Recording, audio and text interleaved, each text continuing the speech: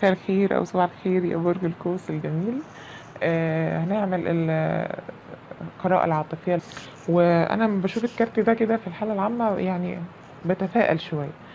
فالظاهر كده إن أنت سعيد و يعني مبسوط يعني أوكي؟ آه وزي ما يكون حاجة اكتملت عندك. يعني عشر كوبايات حب يعني في شيء اكتمل في سعادة اكتملت. طاقة الشريك يعني دي طاقة مائية بحتة آه، ممكن الشريك حوت سرطان عقرب ولكن حوت بالأدق. الشخص ده مقد يعني مستقر كده ومقدم عرض آه، ليك ممكن ولكن ولكن ولكن أنت في آه، ذات الوقت مغلب العقل على القلب شوية. يعني بتفكر بعقلك شوية. هنشوف برضو التوضيحات هنا إيه ولكن ال- الطاقة العامة أنت مبسوط شوية. مبسوط ممكن تكون مش ظاهر ده من بره ولكن أنت مبسوط من جواك. طيب. شوف كده مشاعر الشريك. إيه ده؟ إيه ده.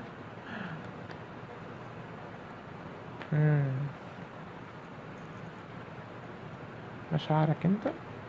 تتعامل مع حد من برج آه، الثور ممكن؟ لا مش الثور sorry الميزان والحوت. برج ناري أسد ده ناري وأسد كمان. okay.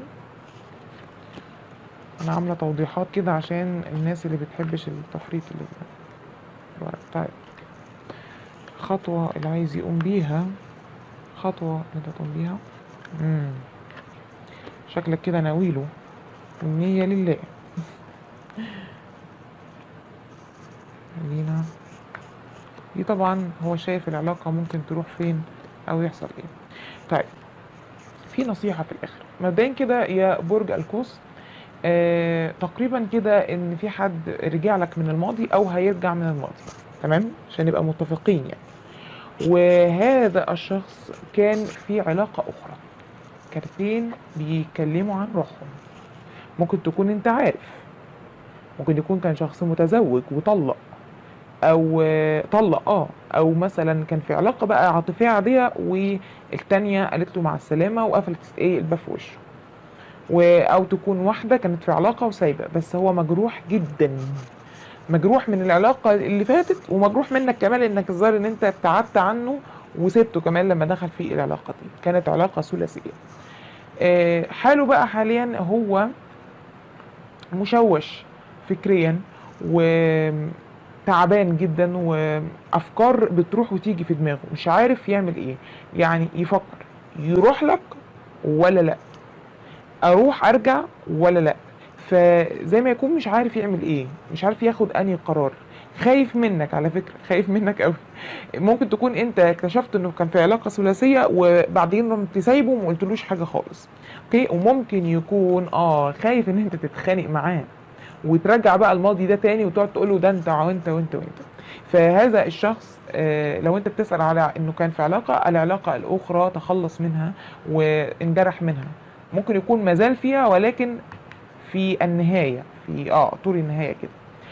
انت بقى انت مختفي عنه و... أو مش مختفي مخبي مشاعرك. بس انت مبسوط ودي حاجة غريبة. انت مبسوط. مش بقولك انت ممكن تكون داخليا بس مبسوط. انت مبسوط انه رجع. مبسوط انه انه ممكن تكون مش مبسوط انه اتأذى طبعا ولكن آه، زي ما يكون حقك اتاخد من الآخر كده.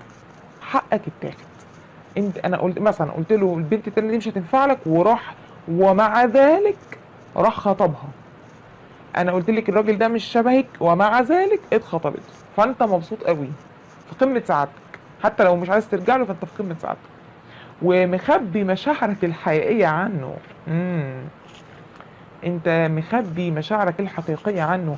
مخبي ان انت آه، بتقدم له عرض بتقدم له عرض أو مش بتقدم له عرض انت عايز بداية جديدة. وعايز تنهي الخلاف اللي ما بينكم ده. عشان كده هو عارف ان في خلاف ما بينكم في اختلافات ما بينكم في خلاف عموما. فأنت مخبي تلك المشاعر ممكن يكون يدخل يقول لك إزيك وبتاع تقول له ها إيه أخبارك؟ عملت إيه؟ مع فلان يقول لك أسكتي ده طلعت وحشة قوي وأذتني جامد وبتاع. تقوم أنت ضاحك تقول له يا حرام. لا بجد والله. طب إزاي بس؟ وأنت بترقص في الأوضة جوه. فأنت مخبي آه، مشاعر. أنت مخبي زي ما قلت لك إن أنت حقك اتاخد أنت مبسوط قوي ومش مش عايز تقول له طبعا يعني ما أنا مش هروح أقول له في وش التاني إن ربنا خد حقي منك. لا مش كده. أنت مخبي الفرحة دي مخبي إن هو إن حقك رجع. أنت حاسس إن حقك رجع. تالت ومتلت يا برج القوس. تالت ومتلت. زي ما زي ما جرحك انجرح. أحب اكد لك بس يمكن ما يبينش ليك ممكن لكن مجروح جدا. ومن جواك وذات نفسك أنت برضو عندك بداية جديدة. نفسك في بداية جديدة برضو. بس ممكن تتأخر البداية دي. تتأخر لأن أنت مش عايز. أنت برضو مصدر له وش مش لطيف يعني. طيب هو شايفك إزاي؟ آه ده شايفك ال Queen of Wands مش بقولك هو يعني شافك إن أنت مسيطر على نفسك و...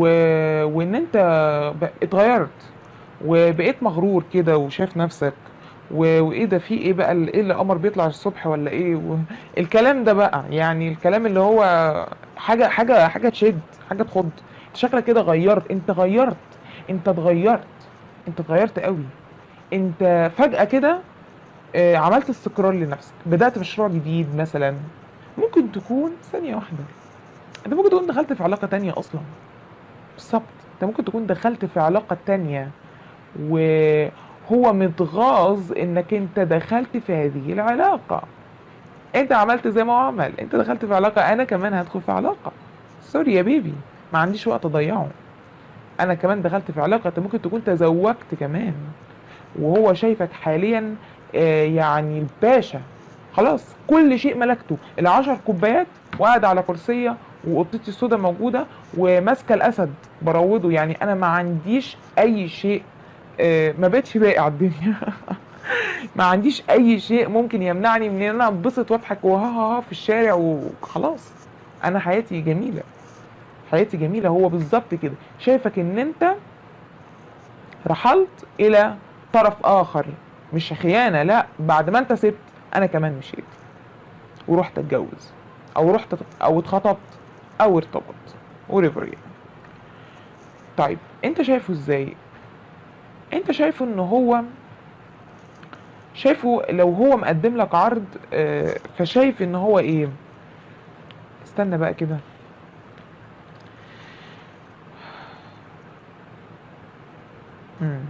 ال ال الكلام ده ممكن يمشي على وجهين. ممكن تكون شايف إن هو راح قدم عرض لحد تاني ولما انخذل جالك. بالظبط.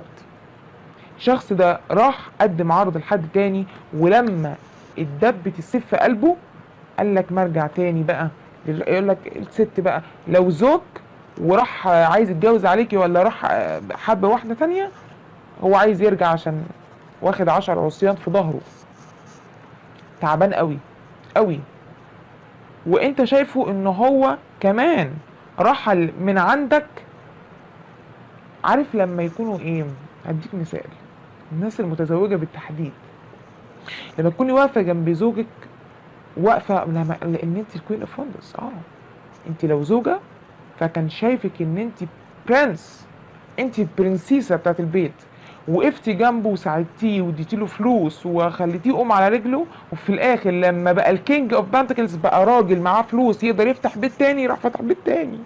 راح فتح بيت تاني. و... و... وسابك انت بالظبط سابك انت مع الأطفال بقى وسابك تتحملي عبء الحياة لوحدك. بس ما تخافيش تخافيش. الحياة فوقته ما تخافيش. لو انت انت حقك رجع تالت ومتلت.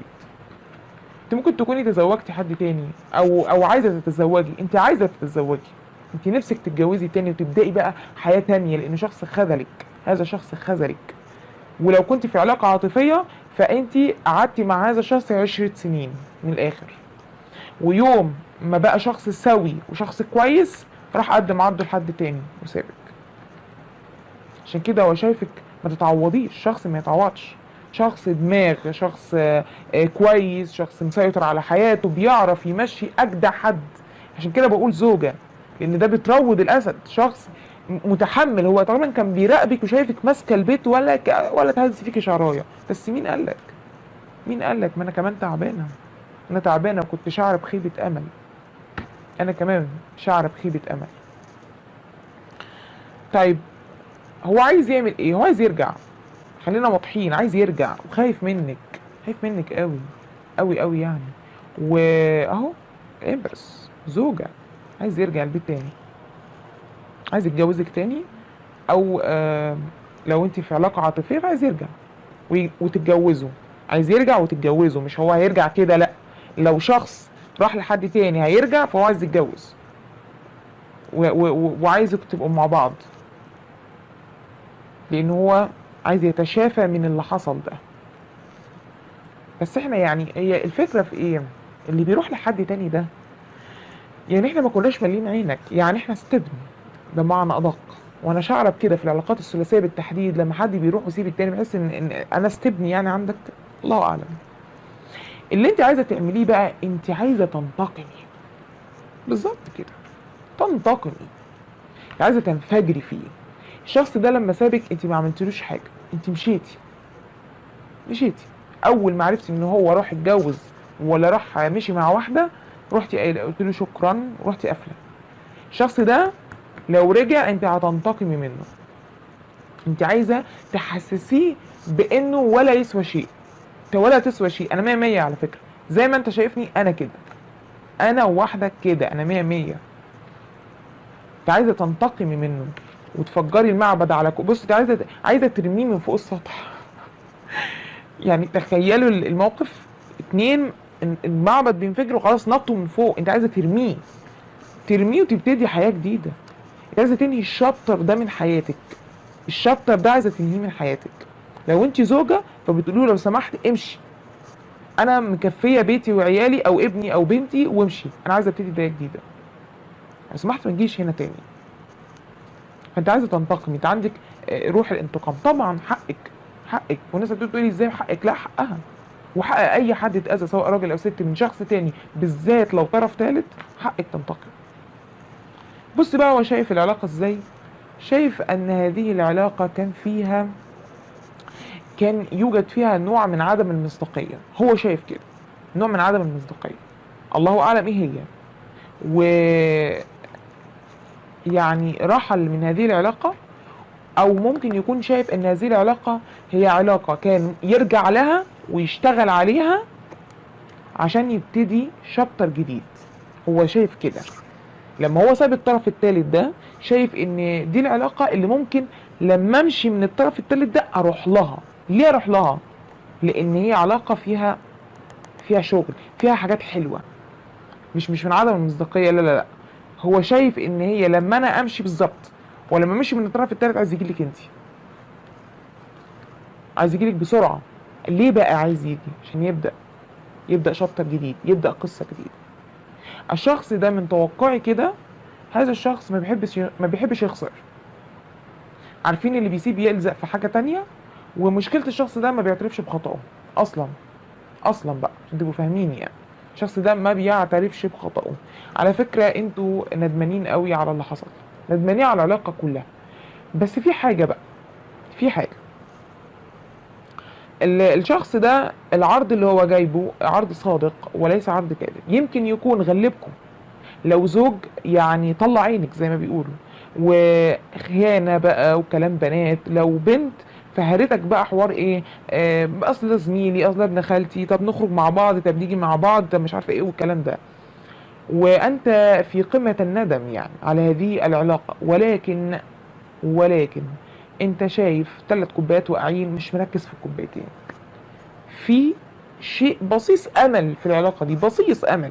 ممكن يكون الشخص ده اتغير. ممكن يكون آه اتغير. هذا الشخص اتغير. كان في طرف ثالث اتغير. الطرف الثالث ده فوقه. واخد ثلاث طعنات في قلبه. فوقه حرفيا. حسسه بأن أنتوا الأصل هو الفرع. طب النصيحة إيه بقى؟ امم مش بقول لك انت انت انت متردد. انت مش عارف ترجع ولا لا.